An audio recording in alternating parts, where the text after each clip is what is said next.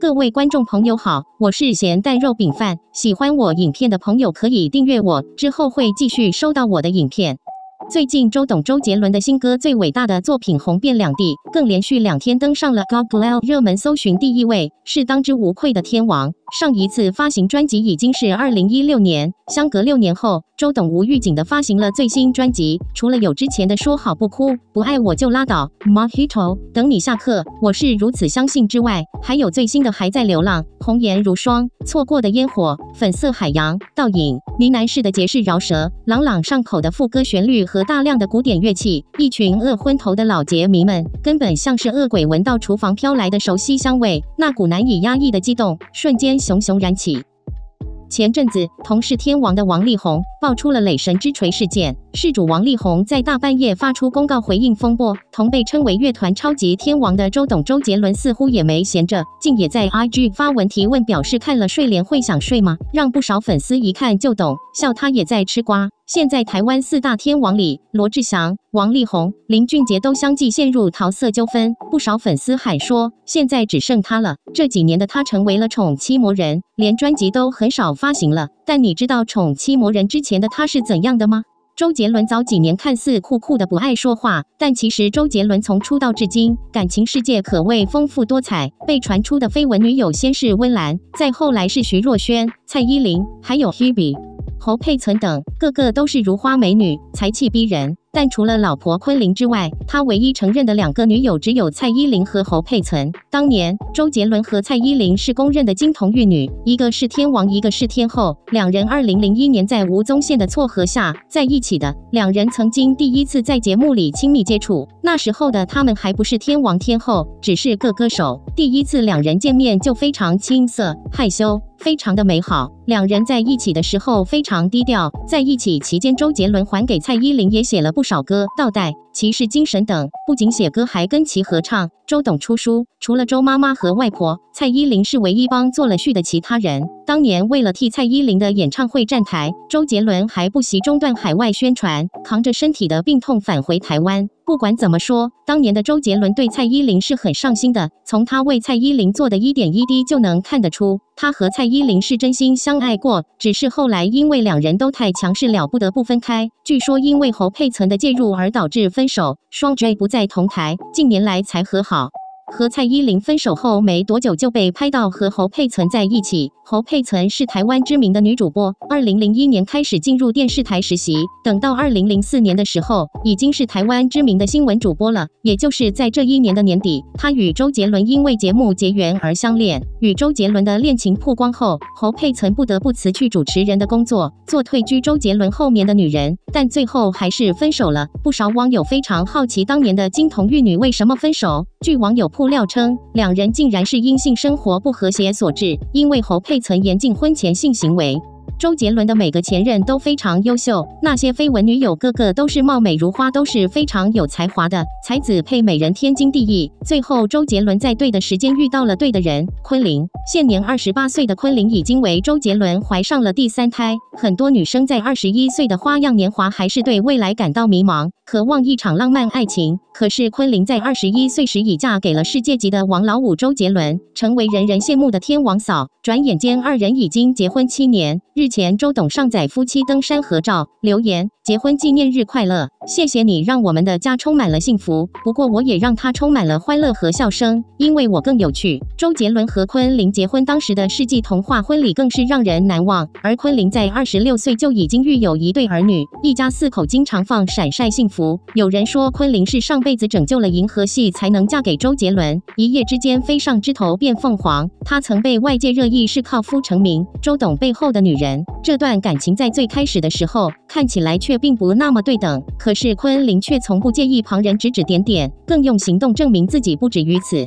昆凌在十七岁的时候就和周杰伦相识，当时还是周杰伦透过朋友之手邀约昆凌。在和周杰伦相处了半年之后，她被这个贴心又幽默的大男孩吸引，而周杰伦很早开始就对她倾心，两人自然而然就开始发展恋情。要和天王级人物谈恋爱，就注定了站在舆论的中心。乖巧而低调的昆凌，年纪轻却相当有 EQ，很知道什么时候说什么话。两人对于感情生活一直保持低调，交往期间一张照片都不会发布。据说他还推掉了大部分谈话形式的综艺节目，避免被追问感情问题。在媒体前也从来不会回答感情的事情，每次被提问都只是尴尬傻笑，因为他一直很害怕自己的回答会影响到周杰伦。成为周杰伦的女朋友之后，昆凌并没有主动以这个身份去在演艺圈向上爬，也没有炒作博新闻的行为，默默承受着成为天王女人的压力。外国长大的她性格直爽开朗，和周杰伦恋爱后却一直隐忍，外界施予的巨大大舆论压力几乎压垮了昆凌。她曾经为此而将自己与世隔绝，她挣扎着要不要放弃这段感情，因此逃到了美国读电影，企图借由距离去逃避感情。可是就在她逃到美国的第三天，周杰伦就追了过来。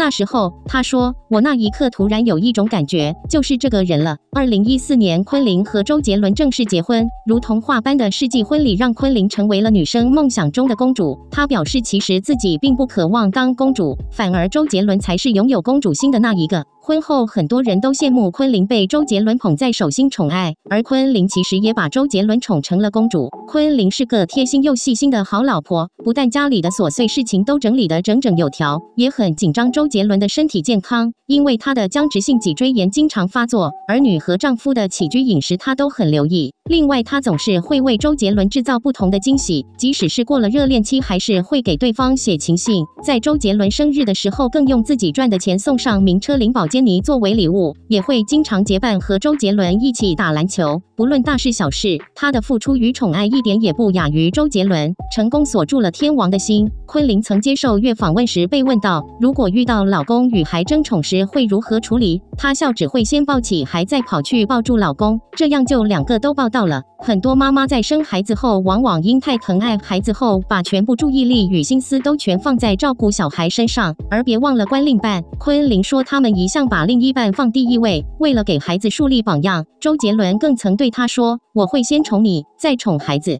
两个人对夫妻关系的重视，也成就了幸福的四口之家。除了“天王”一词，说他是华语乐坛的颠覆者也不为过。周杰伦曾说，他很少听别人的歌，因为他十六年前写的歌到现在还在流行，这点毋庸置疑。时间退回到十六年前，甚至还可以再早一点。二零零零年，周杰伦出道。他的首张专辑《J》获得了台湾当年最佳流行音乐演唱专辑、最佳制作人和最佳人三个奖项。同年被打败的有王菲、那英、孙燕姿、莫文蔚。以下就是周杰伦成为一个时代的符号之前的故事。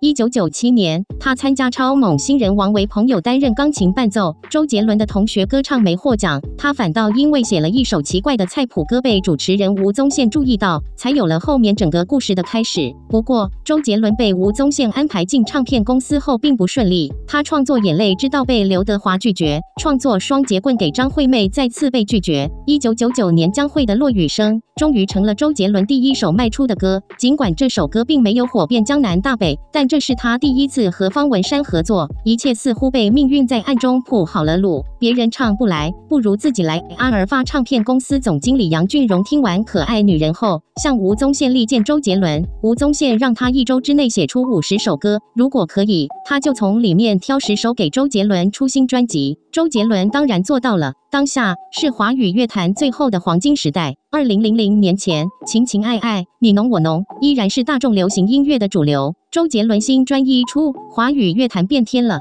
周杰伦发现，美国黑人音乐与东方音乐相结合时，汉语的四声与英语的升降调之间存在一种不可调和的矛盾，也就是用汉语来唱嘻哈，就跟快板没啥区别。黑人演唱的韵律感荡然无存，所以他颠覆了传统的唱歌方式，干脆把唱变成一件乐器，不考虑写词的平仄和韵脚，尾音处理里得像黑人那样，咬字模糊一些，以牺牲发音为代价，去找出那种。黑人音乐的韵律感。随后，周杰伦以一年一张的高频率接连发布《范特西》《八度空间》《叶惠美》《七里香》，十一月的肖邦依然《范特西》六张专辑，将华语流行音乐搅得翻天覆地，唱片热销，奖项不断。二零零三年七月，第四张个人专辑《叶惠美》的主打歌以父之名首播，全球有八亿人在收音机外等候。后来，全亚洲超过五十家电台定七月十六日为周杰伦日，以纪念该日的盛况。同年，东风破发行。这首歌巧妙地平衡了中国文化和西洋音乐结构，成为亚洲流行音乐中国风的里程碑之作。周杰伦成为首个登上美国《时代周刊》亚洲版封面的华人男歌手，被其冠以亚洲流行音乐之王称号。他稳占华语乐坛的顶峰，人们已经将他视为一个时代的集体记忆，一代又一代人的青春。可是，周杰伦曾在一次访谈中对歌迷回应：“我有时候听到说你是我的青春的时候，我会感触很多，会觉得时间过得好快。我希望不要只是你的青春而已，我希望我是你的一辈子。我希望你们到老都还在听我的。”周杰伦的音乐像龙卷风一样吹过无数八零后、九零后的青春，成为记忆里有味道的风景。近年来，他的嗓音因为演唱会的操劳导致每况愈下，在演唱会上演唱《不能说的秘密》时，也需要降三 key，用假音交给观众唱。在前几年看到整理时，我才意识到这位音乐上的皇帝已经唱得太久太拼，纵使魅力仍在，但已经藏不住些许岁月的沧桑。只希望这位天王可以继续陪伴我们更久一点吧。好了，喜欢这部影片的朋友，欢迎赞好、留言及分享，我们下集再见吧。